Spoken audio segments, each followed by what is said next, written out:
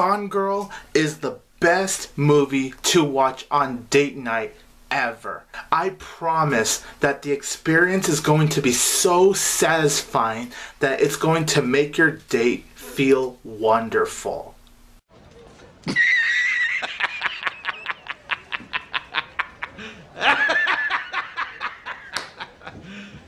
You serious?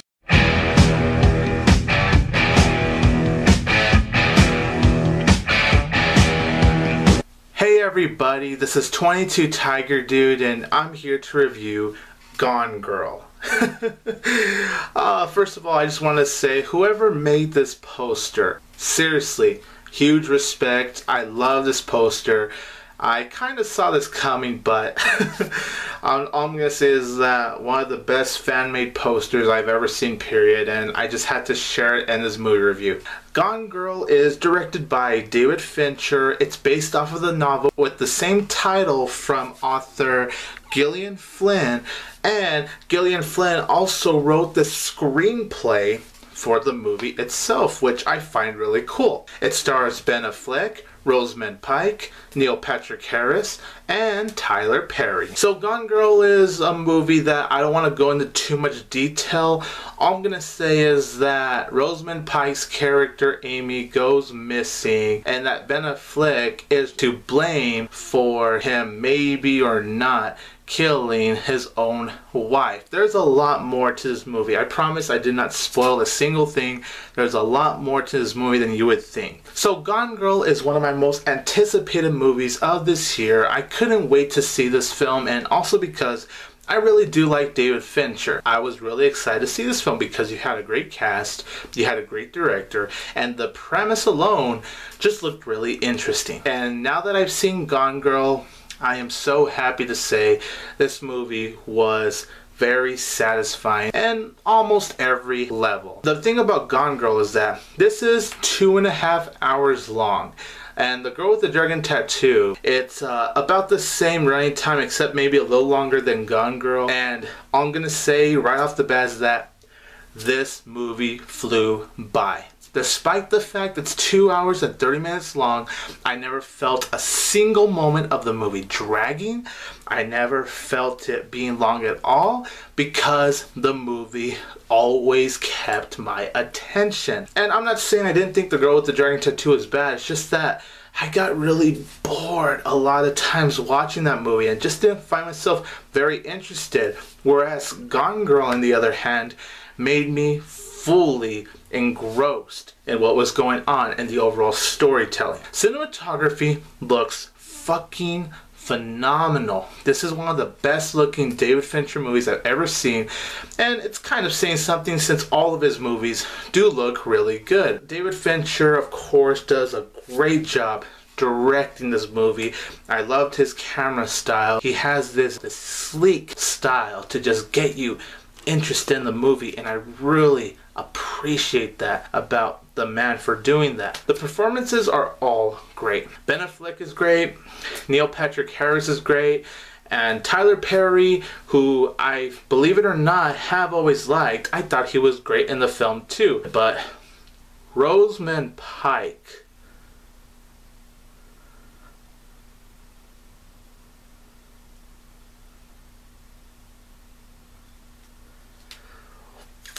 Wow. okay, yeah. Rosamund Pike was fucking fantastic. I always thought she was a great actress, but she seriously blew my fucking mind with her performance. And I'm not gonna really go on my way and say she's a standout. You know, all the actors have their roles. All the actors do a great job in their own way.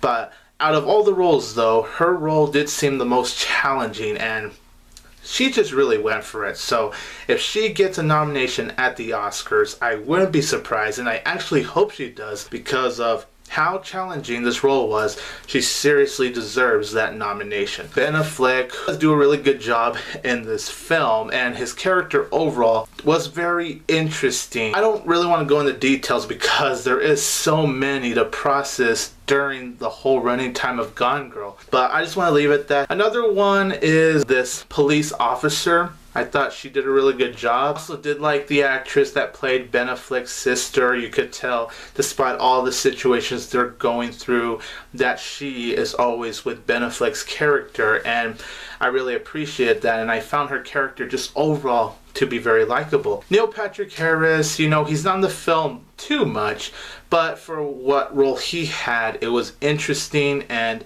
I actually thought he made his character work being this creepy guy, but he really pulled it off very well. And for Tyler Perry, like I said, I've always liked Tyler Perry.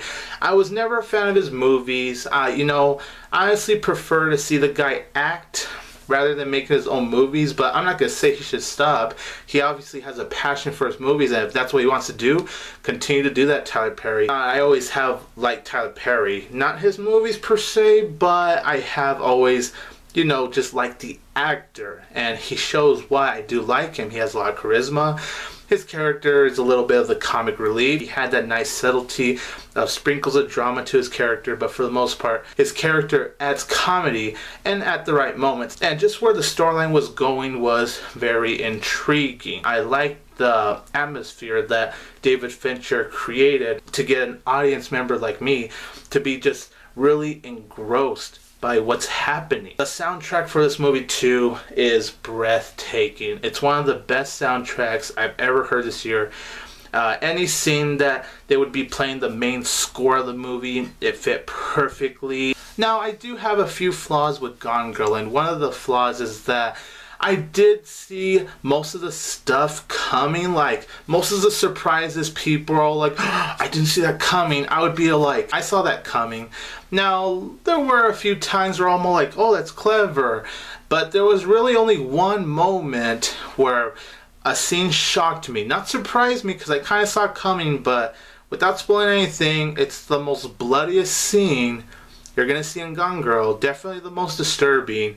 And that's all I'm to put it that way. I was still engrossed even with me seeing things coming, but I just wish the whole mystery wasn't too convenient. It took me about maybe 15 minutes, the first 15 minutes of this movie to get used to the editing style and I did feel like the pacing of the movie did feel a little too quick when it started. And personally, I do think the final 10 minutes did lose its steam for me.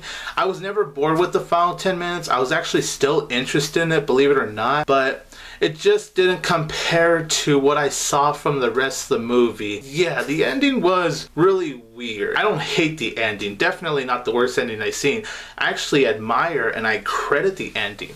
It was just a little off to me. Let's just say that. It was just kind of like, huh? That's how it's ending? I still think Gone Girl is an outstanding movie. David Fincher's direction is really great acting is great, performances, pacing, the writing, the dialogue, the score, almost everything about this movie was just very well done and it got me so into the atmosphere big time and even if I did see most of the surprises coming, I was still always interested in the movie because of how well written and how well directed it was. And that's why I'm gonna give Gone Girl an outstanding three and a half out of four stars. I really liked this movie. It was definitely highly engrossing, was never bored throughout the two hour and 30 minute running time.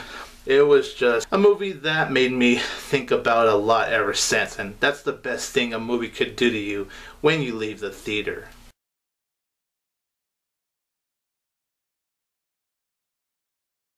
I am 22 Tiger Dude.